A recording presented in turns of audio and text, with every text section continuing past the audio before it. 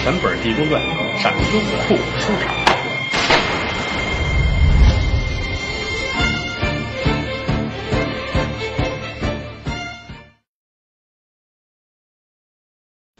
王权的父亲是王安石，这是济公的亲娘舅。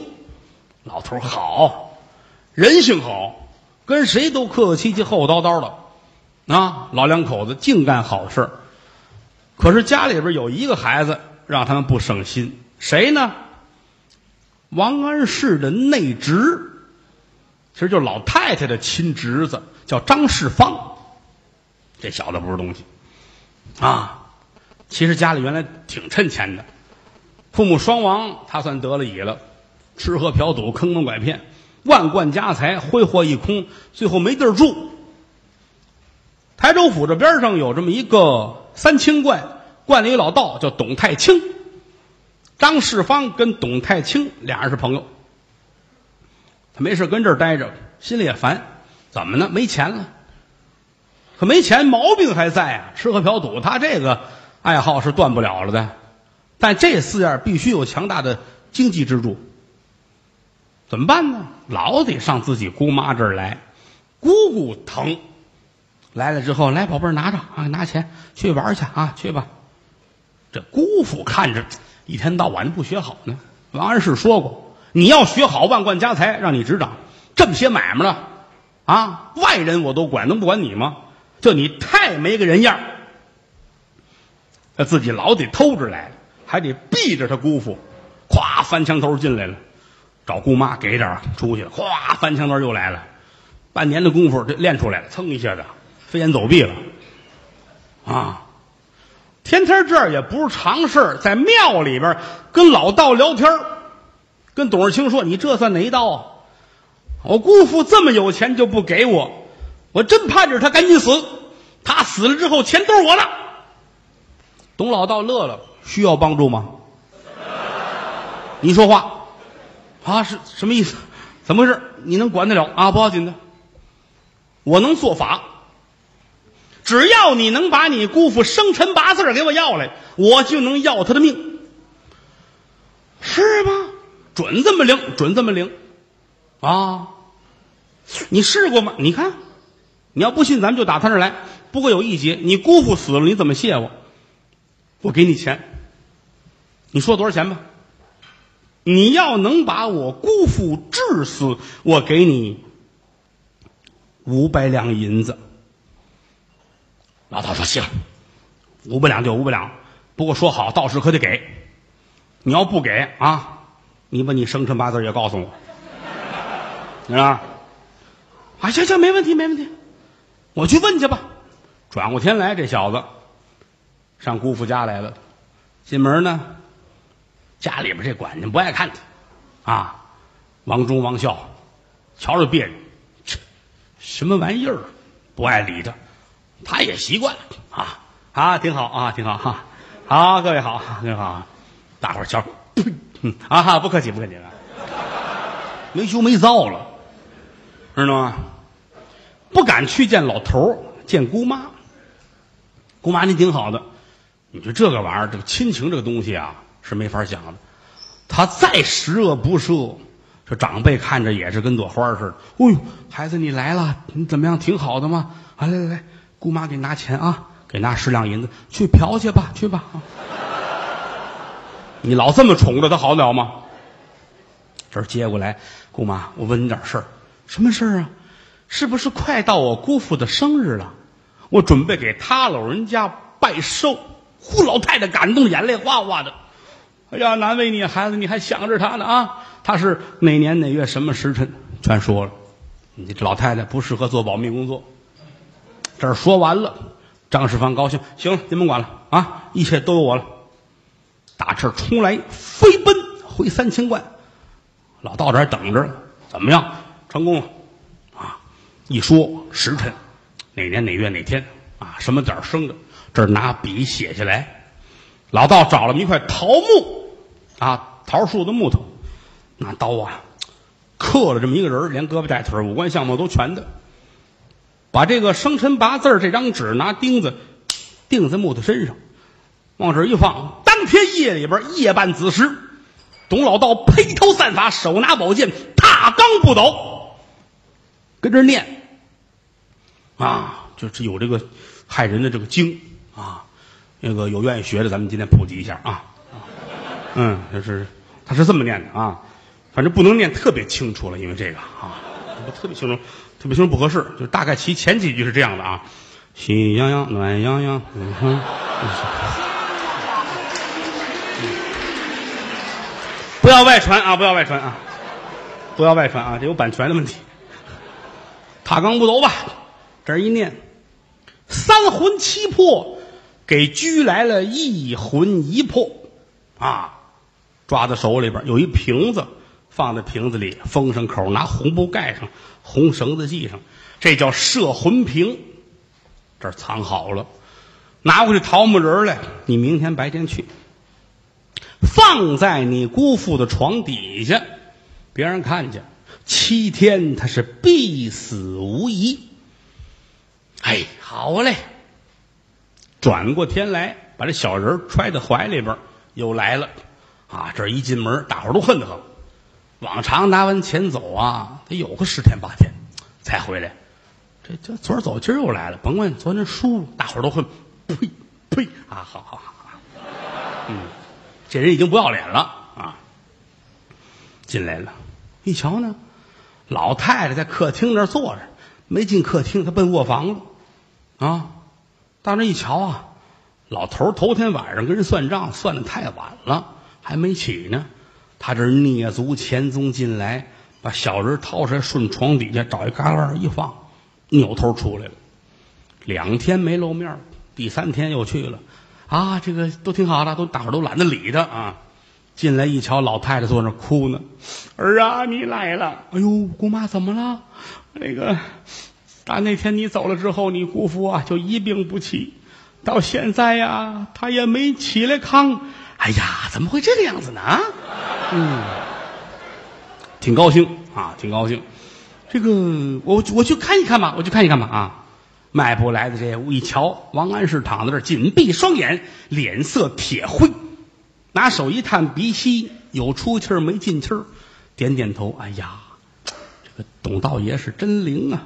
看来他没骗我。嗯，转身出来了。姑妈，够呛！啊，孩子，你瞧见？我瞧见了，够呛啊！我认为啊，就这三两天的事儿了。咱们呢？赶紧办后事儿，啊，省得到时抓瞎。老太太懂什么呀？一说就哭了。你这这个，王全也不在家，家里出了这个事儿了。你这个玩意儿，你说这怎么弄啊？啊！旁边大管家王忠、王孝在这儿了。老太太，您别着急，我们找大夫瞧瞧，万一还有救呢。老太太没说话，张世芳急了，呸！这人都要完了，你还给他灌那苦水喝？你们怎么那么缺德呢？啊！这儿主说：“那个，我还认识一个不错的半仙之体啊，人据说能降妖捉怪，是不是看看有没有歪魔邪祟啊？”呼，他更急了：“出出出出出去！怎么能没？怎么能有呢？啊！差点把实话说出来，这骗老太太，早下手，省了到时候咱们抓瞎。一忙活一乱一耽误，人都臭了，招苍蝇。”老太太懂什么呀？哎，行，孩子，先拿五百两银子，先出去吧，就赶紧办这事儿料理吧。出来了，他头里走，后边大管家王忠跟着。要说真对得起这名字，忠心耿耿，就知道他这里边玩花活。我看他，看他干嘛？跟着出来一瞧啊，他先进了棚铺了，死人得搭棚啊。进来，他跟人说得要什么什么样的啊？怎么个装饰法？得多少钱吧？往最高规格一说。人一说，您说这个得五百两银子，他跟人划价，划来划去，到最后四百两。掌柜的说：“行，四百两，四百两吧。不过你开单子，你给我写八百两。坐地先齐四百两啊，开一八百两的单子，揣好了。他走了，王忠进来了，多少钱？你说吧。哎，这个八百两胡说八道，我们都是市面上混的，你骗谁呀？啊，他只不过是内职，我是家里大管家。”老太太说了，谁便宜用谁的。你要贵，我们就不用。哎，没没没，就四百两，四百两。啊，你给我写上呢，这儿写下来了。啊，出六跟着，他一瞧啊，进杠房了，讲杠去。啊，一说这怎么穿孝，怎么个执事，怎么个排场，人一说好，您这个这得一千两银子，他划价划一八百两，告人开单子开两千两。这开完了走了，王忠又进来了，实话实说一问，照原来那单子又开一份儿回来之后，他跟老太太还显摆呢。您看，也就是我说的便宜，要别人去怎么怎么着，怎么怎么着。王忠回来了，您看看我开这单子，跟他的东西一模一样，我这怎么那么便宜呢？啊！呼，张世芳哭天抹泪儿我是这家的内侄，我能坑谁害谁？老太太糊涂，哎呦，你们别搅和了，我内侄他还能赚我的钱吗？你老太太这么一说，人家王忠、王孝，人家没辙了，自个儿跺着脚抽嘴巴就出来，不管了，管不了，啊，着急，真着急，怎么办呢？少爷不在家，谁能管了这个事儿？眼瞅老头要完了，啊，几个人站在门口这儿顿足捶胸，是长吁短叹。大善人王安石，难道说落这么一个下场吗？嗯，正着急呢，有打这儿来这么一老道，谁呀？孙道全，罗汉爷的大徒弟，这儿来了。几位，这是王家吗？啊，是啊。您化缘，您别来了，我们这儿乱。不不不，治病救人。哎呦喂，我的天爷，您来的太好。您哪儿的？你甭管我哪儿的，我来看看。家出事了，这是罗汉爷打发来的，你先去看看去。王忠孝来到里边一瞧，张世芳给老太太还出方呢。咱得这么花钱，咱得那么花钱。咱们得买什么样的坟地？咱得怎么怎么着，知道吗？这完事之后，家里的家产我先给看着，知道吗？等以后找机会我再给分，是吧？嗯，这这说实在的啊，这正说着呢，有打外头，王忠、王孝进来了，老太太来了这么一个道长，人说能看病啊，咱们让人瞧瞧吧。张世芳噌就蹦起来了，不行，我们。我们要破除迷信，知道吗？就人必须得死，知道吗？啊，我们不可以这样上当受骗，啊，他是骗钱来的。王忠说没有啊，人说不要钱，一分不要。人家不远万里来到中国，说实在的，老太太都感动了，我说让白大夫进来吧。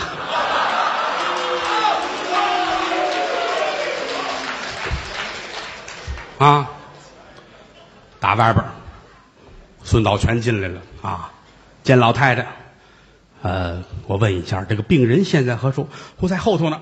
来吧，呼噜呼噜都进来了，把老爷子扶过脸来。孙道全看了看，嗯，没事这人死不了。一说死不了，王忠、王孝高兴。您说，道爷，这怎么回事？这是有人害的，嗯，有人陷害。您说这谁害的？谁害的？男子之身，狠毒妇人之心。内宅之亲，外姓之恩。张世芳扭头就跑。这四句说到心腹里边了。男子之身是个男的，狠毒妇人之心，就是他。啊，内宅之亲，外姓之人，是内亲，但是你不姓王。摸头就出去了。啊，孙道全一猫腰在床底下拿出一桃木人来，列位，你们看看这个，啊。这是谁放的？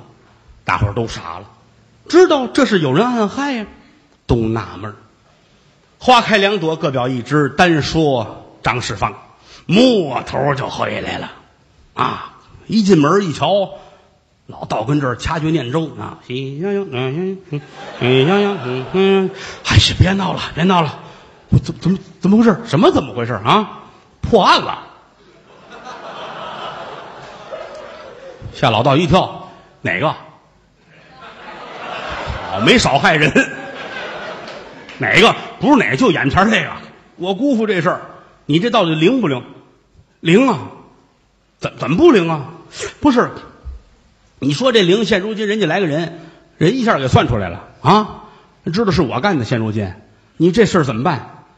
只要是我姑父一活过来，我告诉你啊。我打这儿起，我连饭门都没有，前串子都折了，后厨都拆了，知道吗？你想辙吧。无力养活。董老道想了想，要是这样的话，那咱们就得来个快的了，啊！别等七天，我想想辙，我今天晚上我就解决他的性命吧。对呀，你瞧，张日芳说你早干嘛去？你要什么套餐？来快餐就完了，这个 是不是？赶紧弄完了，咱们分钱了。你马上就走上小康道路了，你非耽误这么些天？对对对对对，今天晚上就来。说话之间，天可就晚了啊！老道把头发都散开了，踏罡不抖，跟这掐着剑诀，这儿一念咒，由打外边，呜一股子狂风滴溜溜溜溜溜进来了。什么呀？王安石的三魂七魄，一把抄在手里边了啊！打个皮儿，装到皮儿里边，扣上盖儿，来到屋里边，往供桌一放。张世芳，我告诉你。现如今，你姑父已经死了，这个事儿不会有人再知道。是是是，那这瓶子，唉，事儿都没人知道。这摄魂瓶不会有人知晓。话音刚落，山门外有人喊：“姓董的，摄魂瓶呢。”哎呦嚯，有人知道了。